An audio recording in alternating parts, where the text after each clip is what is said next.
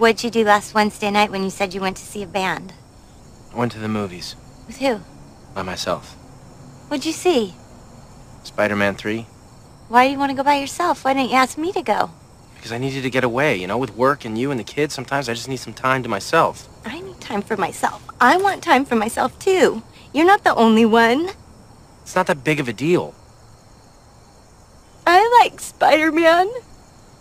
Okay, so let's see Spider-Man 3 next week. I don't want to go see it now. Well- I don't want to have to ask you to ask me. I want you to just come up with it on your own. What, do, what, I don't even know what to say. Uh, What do you want me to do? You just think because you don't yell that you're not mean. But this is mean.